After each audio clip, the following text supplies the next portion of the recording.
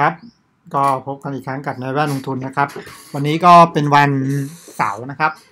ก็เป็นวันหยุดนะก็เลยทำให้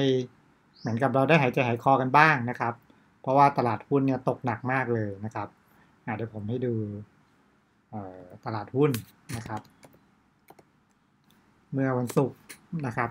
ที่ปิดไปนะ เป็นยังไงกันบ้างนะครับ ก็ลบไป 54 จุดนะครับ ก็หลายคนตอนนี้โชว์ขาดทุนกันละนะครับ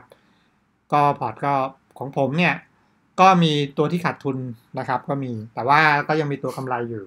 นะครับ ตัวกำไรก็คือตัวที่ผมถือมานานนะครับ ก็คือ BM นะครับไหนลองดู BM กันหน่อยนะครับ ว่าเป็นยังไง เพราะว่าผมก็ถือแบบไม่ได้ขายครับนะครับ ก็ลงมาเหลือ9บาท25 ใช่ไหม ราคานะครับ9บาท25นะก็ตอนนี้ความกลัวผมว่าปกคลุมไปทั่วแล้วล่ะนะครับ ซึ่งก็ก็ต้องทำใจนะว่าก็อ่าเขาเรียกว่าอะไรอะเหตุการณ์นี้เราก็ไม่ทราบนะว่ามันจะพัฒนาไปได้ไกลแค่ไหน แต่ว่าสิ่งที่เราพอจะทำกันได้ ก็ก็คืออ่าหันมาทบทวนสิ่งที่เราทำลงไป แล้วก็อ่า เป็นเป็นโอกาสดีที่เราจะทบทวนหุ้นของเราด้วยนะครับว่าหุ้นของเราเนี่ยมันเป็นหุ้นที่ดีหรือเปล่านะเดี๋ยวเดี๋ยวลองมาดูกันนะครับ บทความของวันนี้สักครู่นะครับ วันนี้จะมาเล่าให้ฟัง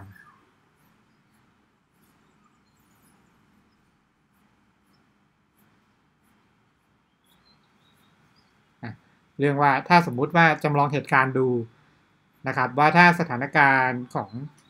โคโรนาไวรัสดีขึ้นเนี่ยอ่ามันจะเป็นยังไงนะครับ เดี๋ยวสักครู่นะครับ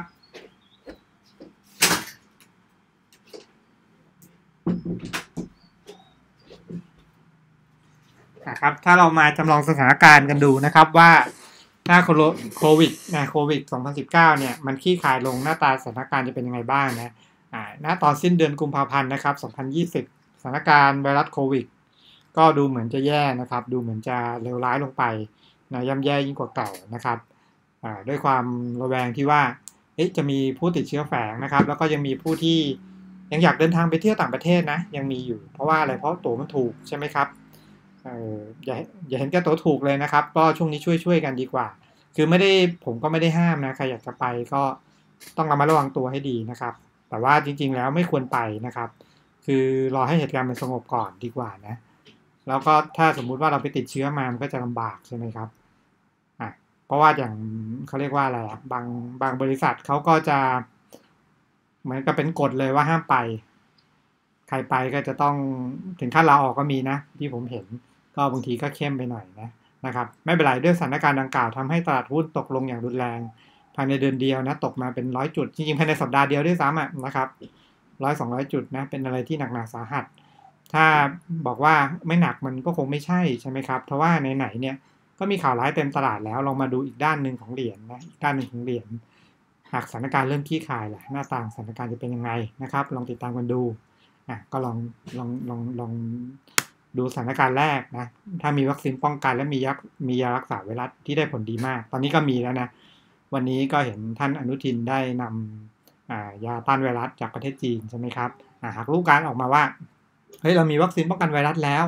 แถมยังมียารักษาไวรัสที่ได้ผลดีมากๆ ซึ่งก็เริ่มใช้จริงนะแล้วก็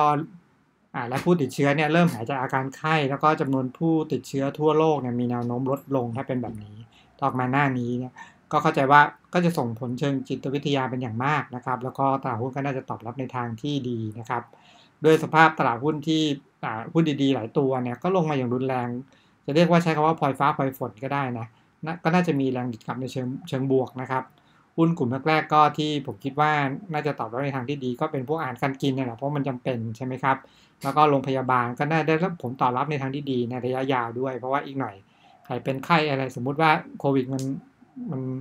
ซาไปแล้วอะแต่ว่าใครเป็นไข้อะไรนิดหน่อยก็ไปโรงพยาบาลกันหมดอะเพราะว่ากลัวใช่ไหมครับหุ้นที่น่าจะกลับมาได้เนี่ยก็คงหนีไม่พ้นหุ้นที่ตกหนักเกินไปนะหรือว่าราคาลดลงด้วยความตกใจของผู้ที่ขายหุ้นแบบนี้ตายนะขายแบบนี้ตายเลยไม่รู้มีบางคนโดนฟอสเซลอะไรหรือเปล่าก็อาจจะมีบ้างนะนะครับ ซึ่งก็มีหลายตัวในตลาด เราก็ไม่รู้ว่าเหตุการณ์มันจะกลับมาดีได้เมื่อไหร่ใช่ไหมครับสถานการณ์ที่2นะ ถ้าเหตุการณ์ไม่ลุกลามบานปลาย และไม่เข้าสู่เฟสที่รุนแรงนะครับ ก็ประเทศไทยแม้ ซึ่งแม้แต่ประธานาธิบดีโดนัลด์ทรัมป์นะครับเขาก็ยังยกให้ประเทศว่าเป็นประเทศที่บริหารจัดการเรื่องโรคระบาดติดติดหนึ่งในสิบอันดับต้นๆของโลก ถ้าผมจำไม่ผิดอันดับหกแต่ว่าอันดับหนึ่งในเอเชียนะครับ ซึ่งจริงๆท่านท่านท่านประธานทำนี่ท่านก็บอกว่าเฮ้ยโควิดไวรัสเนี่ยมันเป็นเรื่องลวงโลกด้วยนะ ที่เห็นท่านสัมภาษณ์ล่าสุดนะเป็นเรื่องลวงโลก ผมว่ามันไม่ลวงโลกหรอกครับนะ ท่านก็เห็นว่ามันเหตุการณ์มันเริ่มลุกลามบานปลายแล้วไปยังประเทศท่านละ ก็เลยต้องบอกเงี้ยนะก็คือก็เป็นประธานาธิบดี disruptor คนหนึ่งนะที่แบบคาดเดายากนะครับอะไม่เป็นไร หากประเทศเรามีการบริหารจัดการที่ดีนะครับ และค่อนข้างเด็ดขาดมีมาตรการบางอย่างที่ทำให้เหตุการณ์ไม่ลุกลามบานปลายนะครับ ก็ก็ทำให้ผู้คนเชื่อมั่นนะครับ เช่น เราอาจจะมีมาตรการที่ค่อนข้างเด็ดขาดอย่างหนึ่งนะอาจเช่นการปิดโรงเรียนเหมือนในประเทศญี่ปุ่นนะครับ เรียนทางออนไลน์จะปิดเรียนเป็นสองสัปดาห์เดือนหนึ่งอะไรอย่างเงี้ยแล้วก็เน้นทำงานอยู่ที่บ้านนะครับ ผมไม่ได้บอกว่ามันจะเกิดขึ้นนะผมบอกว่าถ้ามันออกมาเน็ตแบบนี้นะครับ หากไม่ลุกลามบานปลายก็เชื่อว่าตลาดหุ้นก็จะกลับมาดีขึ้นได้นะครับ แล้วก็จะมีหุ้นบางกลุ่มที่จะได้รับผลกระทบระยะสั้น นะครับ ก็คือคนที่อยู่ในบ้านออกประชุมชุมชนเนี่ยก็จะทำให้ แต่ว่ามันก็จะดีในระยะยาวคือมันทำให้ไม่ลดการระบาดเป็นวงกว้างนะครับ แต่ก็จะส่งผลกระทบหลายธุรกิจนะที่อาจจะแบบโดนกระทบบ้าง ซึ่งถ้ามันจำกัดได้เร็วเนี่ยผมว่าก็โอเคนะครับ ถ้าออกมาในแนวเนี้ยเหตุการณ์ไม่ลุกลามก็จะส่งผลดีนะลองมาดูว่าถ้าเป็นสถานการณ์อื่นๆ จะเป็นยังไงนะครับสถานการณ์อื่นๆ เช่น เหตุการณ์ลากยาวเป็นเดือนๆนะหลายเดือนหรืออาจเป็นปี ถ้าออกมาแนวๆนี้ก็จะส่งผลกระทบ ผมคิดว่าค่อนข้างหนักนะครับ แล้วก็จะทำให้ธุรกิจสายป่านที่ไม่ยาวพอเนี่ยจะประสบปัญหานะครับ แน่นอนที่สุดว่าเหตุการณ์ที่ลากยาวจะดีได้ก็ต่อเมื่อบริหารจัดการได้นะครับ ก็ต้องดูแนวแนวทางของการบริหารจัดการของรัฐบาลประเทศไทยนะครับ ซึ่งคงต้องลุ้นว่าเหตุการณ์ที่รุนแรงแบบนี้เฮ้ยอย่าไปลากยาวเกินไปนะอะไรเงี้ยหรือว่าถ้าลากยาวจริงๆ ก็ขอให้บริหารจัดการได้นะครับ อย่าให้มันรุนแรงนะครับอะข้อสรุปและข้อคิดก็คือ เมื่อมีวิกฤตก็ย่อมมีโอกาสเสมอนะครับ เพราะสองสิ่งมันเป็นของคู่กันตามธรรมชาตินะตามกฎของธรรมชาติเลยกฎของธรรมะเลยนะครับ ยามวิกฤตก่อตัวเนี่ยมันย่อมดูน่ากลัวนะน่าเสียสยอง แต่เมื่อใดก็ตามที่วิกฤตที่คลายนะครับ ฟ้าหลังฝนก็จะสดใสเสมอเลยนะมันก็เป็นแบบนี้มาแต่ไหนแต่ไรนะเพียงแต่ว่าเราไม่สามารถรู้จุดต่ำสุดนะแล้วก็ระยะเวลาว่ามันจะยาวนานแค่ไหนใช่ไหมครับ โอกาส อาจใช้โอกาสนี้ทบทวนแนวคิดการลงทุนของตัวเองศึกษาความรู้เพิ่มขึ้นก็ได้นะครับ ช่วงนี้ผมก็พูดตรงๆ ก็ไม่ค่อยดูราคาหุ้นเลยนะก็เหมือนกับนั่งดูงบการเงินอย่างเดียวอะเพื่อที่จะหาหุ้นที่จะกลับมาได้เร็วนะครับผมคิดว่าเหตุการณ์ต่อจากเนี้ยจะเป็นอย่างไรก็ขึ้นอยู่กับพวกเราทุกคนแล้วล่ะครับนะครับ ว่าต้องช่วยกันสอดส่องคนรอบข้าง ช่วงนี้ควรงดเดินทางไปต่างประเทศนะครับ แล้วก็เฝ้าระวังสุขภาพตัวเองนะครับ เพราะตัวเราเองเป็นที่พึ่งที่ดีที่สุดนะครับ เอาใจช่วยทุกท่านนะผมเองก็พยายามดูแลสุขภาพตัวเอง แล้วก็ไม่ไปที่ชุมชนถ้าไม่จำเป็น แต่ก็ไม่ใช่ว่ากลัวจนไม่ไปเลยก็ไปบ้างนะครับ ก็ไปซื้อของอะไรตามปกติ ไม่ไม่ถึงขั้นกักตุนสินค้านะอย่างที่เคยหลายคนกลัวผมว่าไม่ต้องกักตุนหรอกครับใช่ไหมเพราะว่าหน้าปักซอยเราก็มีละใช่ไหมครับเซเว่นอีเลเว่นอะไรเงี้ยแล้วก็อยากจะกินอะไรก็สั่ง มาส่งถึงบ้านก็มีใช่ไหมสมัยนี้มันไม่เหมือนสมัยก่อน ผมว่าคงไม่ถึงขั้นมีการกักตุนสินค้ากันนะครับ ก็หวังว่าจะไม่ตื่นตระหนกกันจนเกินไปแต่ว่าเราก็อย่าประมาทนะครับเก็บเงินสดเอาไว้บ้าง สมมุติว่าช่วงนี้เงินเดือนออกนะก็เก็บเก็บเป็นเงินสดไว้บ้างก็ได้นะครับเผื่อมันลงหนักกว่านี้ใช่ไหมแต่ว่าถ้ามันขึ้น ก็ผมก็ไม่ทราบจริงเพราะตลาดหุ้นมันมันคาดเดาไม่ได้ครับนะใครไปคาดเดาตลาดก็ ผมว่าระยะยาวก็คาดเดาไม่ถูกนะครับอะ ทีนี้ถ้าใครคิดว่าอยากจะเรียกว่าอะไรดี เรียกว่าเสริมความรู้นะครับ เสริมความรู้ก็แนะนำคอร์สการลงทุนนะครับ ที่ผมตั้งใจทำอย่างมาก ๆนะครับก็ถอดรหัสงบการเงินฉบับจับมือทำนะครับ แล้วก็สร้างพอร์ตเงินล้านด้วยหุ้นเติบโตนะครับเฟ้นหาหุ้นเติบโตด้วยงบการเงิน ทั้ง 3 คอร์สเนี่ยเป็นคอร์สที่ผมตั้งใจทำกลั่นจากประสบการณ์ ลงทุนประมาณสักสิบปีของผมนะราวสิบปีได้นะ แล้วก็สามคอร์สผมก็ทำราคาพิเศษให้นะครับ ก็ลองเข้าไปดูกันในเว็บไซต์นะครับ ก็ขอให้ทุกท่านตั้งสติให้ดีนะครับ ก็วันจันทร์เปิดมาผมก็ไม่ทราบผมจะขึ้นจะลงบางคน inbox มาถามผมว่า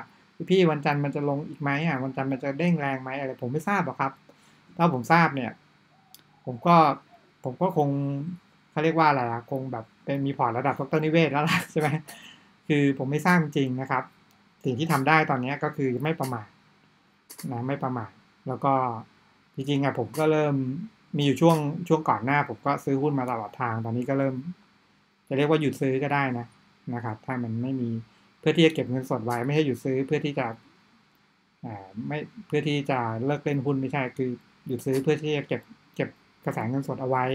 ที่ยังเหลืออยู่นะครับ เพื่อที่ว่าอ่าถ้ามันหุ้นมันลงมาแรงอะไรเงี้ยนะเราก็จะได้มีเงินเข้าไปช้อนซื้อนะครับ แต่ว่าก็ถ้าสมมุติว่าหุ้นมันปรับตัวเป็นขาขึ้นได้เร็ว ผมก็ก็จะดียินดีและดีใจมากก็ล่าสุดก็เห็นท่านอนุทินใช่ไหมที่นำยาต้านไวรัสมาแล้วก็ขอให้ประสบความสำเร็จนะครับ แล้วก็ทุกท่านที่ลงทุนอยู่ตอนนี้ก็เป็นกำลังใจให้นะครับ ก็ผมว่าบาดเจ็บกันทุกคนอะทั่วทั่วทุกคนนะครับ แม้แต่เซียนก็ต้องขาดทุนนะครับยกเว้นอาจจะเป็นยกเว้นนิดนึงพวกนักเทคนิคอลที่เขาเห็นกราฟก่อนล่วงหน้าอะไรเงี้ย ถ้าเขาเชื่อในกราฟจริงๆ เขาถอนเงินออกไปก่อน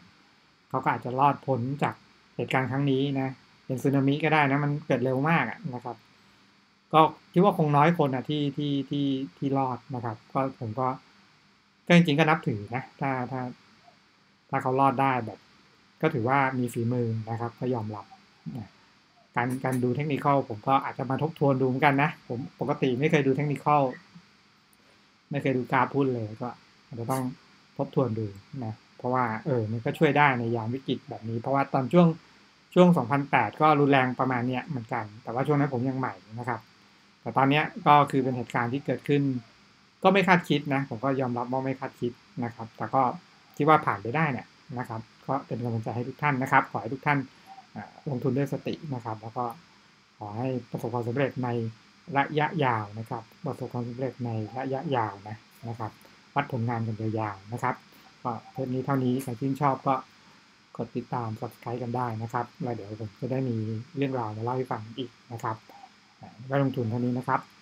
สวัสดีครับ